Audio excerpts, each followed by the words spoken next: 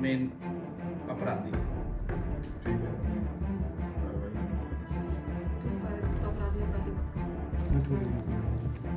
मुजफ्फरपुर में फिर से एक बार आपराधिक घटना घटी है, जहाँ पति और पत्नी बनकर एक प्रेमी जोड़ा ने पहले होटल में कमरा लिया। फिर कुछ देर बाद प्रेमी ने अपने प्रेमिका को होटल के कमरे में ही मुँह में गोली मार दी। इसके बाद प्रेमी होटल से फरार हो गया। लड़की पीछे से जख्मी हालत में होटल के नीचे पहुँची, जहाँ उसने कर्मियों को गोली मारने की बात बताई। यह पूरा मामला मिठनपुरा थाना क्षेत्र के हरिसभा चौक स्थित एक होटल की है। घटना के बाद आनंद फानंद में युवती को इलाज के लिए बैरिया स्थित निजी अस्पताल में भर्ती कराया गया, जहाँ उसकी गंभीर स्थिति में इलाज की जा रही है। युवती की पहचान शहर के माली घाट निवासी फिरोजा खातून के रूप में हुई है। उसके गाल में गोली लगी है। घटना के बाद मौके पर अफरा तफरी की स्थिति बनी रही।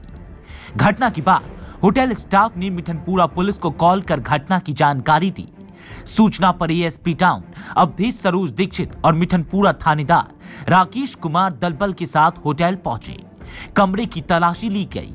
बिस्तर पर रखी पिस्टल और कई गोलियाँ भी बरामद की गई। बिस्तर पर खून के छींटे पड़े हुए थे। इस दौरान होटल के रजिस्टर को भी चेक किया गया। लेकिन होटल के रजिस्टर में दोनों का नाम दर्ज नहीं था। साथ ही स्टाफ से घटना की जानकारी ली। अभी अ, आज लेट लेट इवनिंग मिठनपुरा में हरिसभा चौक स्थित L V international international hotel से होटल के एक रूम में सूचना मिला था कि एक लड़का लड़की रुके हुए थे और उसी में एक लड़की को गोली लगी है।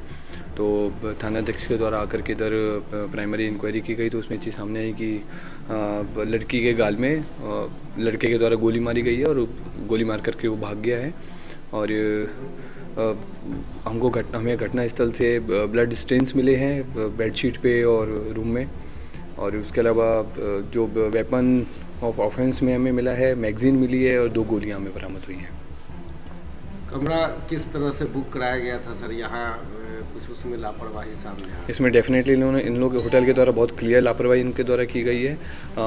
जो इनके द्वारा विजिटर रजिस्टर या फिर जो अटेंडेंस रजिस्टर डाला जाता है, उसमें उसको प्रॉपरली मेंटेन नहीं किया गया है। इनके द्वारा आईडीज वगैरह जो ली जाती हैं कस्टमर से, वो इन्होंने नहीं लिए हैं।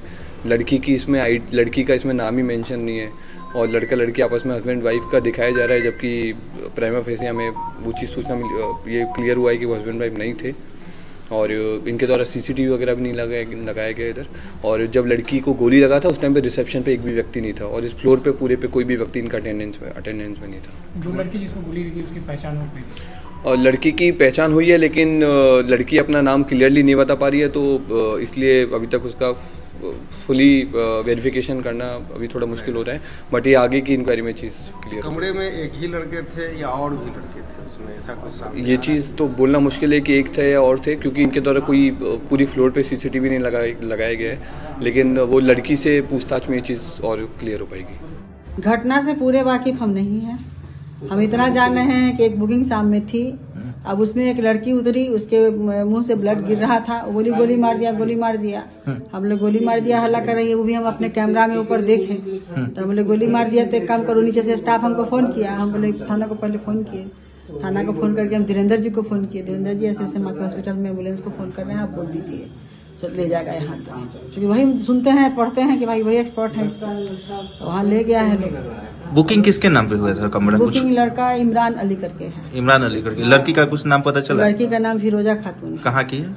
माली घाट की। माली घाट की। इससे पहले भी वो लोग आता था यार तो हम तो फिजिकली देखे नहीं ना किसी को। हम तो अभी सुने क्योंकि हम तो मेदांता गए थे हस्बैंड को लेकर के उनका बाईपास सर्जरी था। तो मेदांता दिल्ली में हम थे। हम बोले होटल बंद करके रखो।